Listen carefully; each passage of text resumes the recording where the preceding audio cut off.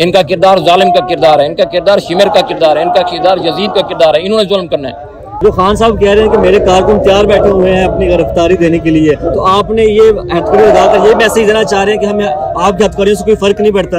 आप मुझे ये बताएँ आप वकील हैं किसी के भी वकालत कर रहे हैं या आप न्यूट्रल जो ना मेरे से इंटरव्यू ले रहे हैं? अस्सलाम वालेकुम नाज़रीन आज हम मौजूद जमान पाक के बाहर। यहाँ पर उनके कारकुन जो हथकड़ियाँ लगाकर यहाँ पर मौजूद हम इनसे पूछेंगे यहाँ पर ये हथकड़ियाँ लगाकर क्यों आए हुए हैं? जी अस्सलाम वालेकुम। इस्लाम कहाँ से तशरीफ़ लाए हैं? सर मेरा ताल्लुक मुल्तान से है जलालपुर पीर वाला सूर्याबाद से। ख्वाजा सिद्दीक अहमद सिद्दीकी मेरा नाम है। मैं उन्नीस सौ छियानवे ईस्वी से इमरान खान का साथी हूँ। दो हज़ार दो में इमरान खान ने मुझे टिकट दिया था एम एन ए का इलेक्शन लड़ा था। इमरान खान का साथी पुराना यहाँ पर मैं हथकड़ियाँ लगा के इसलिए आया हूँ कि मैं ये समझता हूँ कि मुल्क के अंदर अदल इंसाफ नहीं है।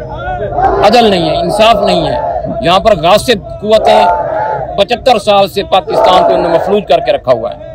इसलिए मैंने ये हथकड़ियाँ लगा के पेश हुआ हूँ और मैं ये पैगाम डिलीवर कर रहा हूँ कि सनाउल्ला का किरदार शिमर का किरदार है, शरीफ बिरादरन का किरदार, यजीद का किरदार है और अल्लाह ताला इमरान खान को इनसे महफूज फरमाए। अरे ये तो हथकड़ी लगा के आपने अपने आप को अजियत दी हुई है। इसके अंदर मतलब कि जो ये इंसाफ वाला है वो तो इंसाफ वाले अदारे हमारे मुल्क के अंदर मौजूद है। तो फिर पचहत्तर साल से हम अजियत में हैं। अगर चंद लम्हों की अजियत मिल जाएगी तो क्या हो जाएगा? ये मैं अलामती तौर पर पेश कर रहा हूँ कि हम पचहत्तर साल से अजियत में मैं तीन नस्लें बर्बाद हो गई हैं। जो खान साहब कह रहे हैं कि मेरे कारकुन तैयार बैठे हुए हैं अपनी गिरफ्तारी देने के लिए तो आपने ये हथकड़ी लगाकर ये मैसेज देना चाह रहे हैं कि हमें आपकी हथकड़ियों से कोई फ़र्क नहीं पड़ता। बल्कि इमरान खान के हम जो है ना उनके हुक्म की तामील करेंगे और बुद्ध को इंशाल्लाह गिरफ्तारी देंगे लाहौर से। वो तो इमरान खान साहब को गिरफ़्तार करना चाह रहे हैं। कारकुन को उनको पकड़ना का मकसद ही नहीं है। तो आप मतलब कि अगर खान साहब को गिरफ़्तार कर लेते तो क्या करेंगे? भाईजान हम फिदायान इमरान हैं। हमारी लाश से गुजर के वो जाएँगे। देखिए, खान साहब के ऊपर तो हमला होता है, पंजाब के अंदर अपनी हुकूमत होने के बावजूद वो एक एफ़ आई आर नहीं कटवा सकते। तो अगर खान साहब को अरेस्ट कर लेंगे तो उनके कारकुन क्या करेंगे? भाईजान बात यह है कि इमरान खान जालिम नहीं है।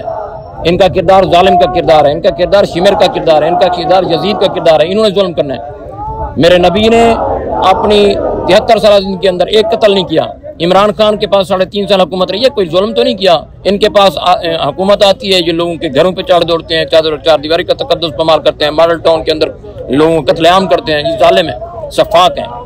फवाद चौधरी साहब को अरेस्ट करते हैं तो वो भी रो पड़ते हैं गिरफ्तारी से जब मतलब बाहर आते हैं। तो शबाज गिल साहब को भी अरेस्ट करते हैं वो भी रो पड़ते हैं। अगर आप लोग वो करेंगे तो आप भी रो पड़ेंगे। देखिए जी जुल्म फिर जुल्म है बढ़ता है तो मिट जाता है।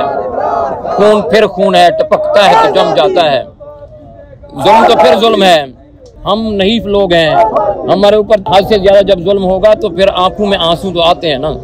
अब इस पर आप कहेंगे कि वो रो पड़े हैं आँसू तो आते हैं जब जुल्म होगा। सर गिरफ्तारियाँ तो जब खान गिरफ्तारी दे रहे हैं। जब जालिम के सामने हम सरनिगू नहीं हो रहे। जब खान साहब हुकूमत में थे जो ओपोजिशन है तो उन्होंने भी तो उस टाइम पे गिरफ्तारियाँ दी थी। उन्होंने भी छह छह माह की दो दो साल की कैदे काटी वो तो नहीं रोए। अरे भाई वो तो चोर थे डाकू थे।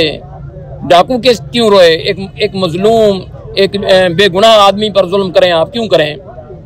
अगर खान साहब को अरेस्ट कर लेते तो क्या करेंगे? आप बेगुनाह हैं। आप बेगुनाह हैं मैं आप पर जुल्म क्यों करूँ?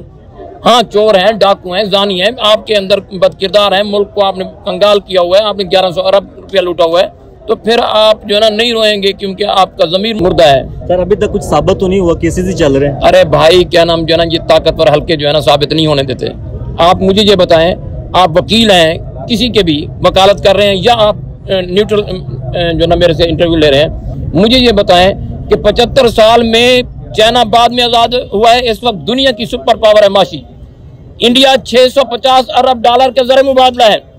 आपसे आज़ाद हुआ है, आपसे बांग्लादेश आज़ाद हुआ है, उसकी, उसका जर मुबादला देखें। चार साल हुए, बंगला अफ़गानिस्तान आज़ाद हुआ है। उसका अफगानी आपके पौने त्रै रुपए, पौने तीन रुपए। तो आपकी मीशत आज तक क्यों नहीं उठ सकी? कौम क्यों नहीं उठ सकी? उसकी वजह यही है कि मुल्क के अंदर पचहत्तर साल से गासिब कुतें बरा जमा है। अगर खान साहब अभी इलेक्शन होते हैं तो खान साहब ने कहा कि जो मैं लास्ट टाइम आया था मेरे हाथ बंधे हुए थे। तो दोबारा खान साहब अगर हुकूमत में आते हैं तो उनकी मदद के बगैर तो हुकूमत बनती नहीं है। तो फिर उनके हाथ बंधे हुए होंगे तो वो कैसे मतलब कुछ डिलीवर करेंगे? देखिए भाई जान जुल्म फिर जुल्म है बढ़ता है तो मिट जाता है। खून, फिर खून है, टपकता है तो जम जाता है।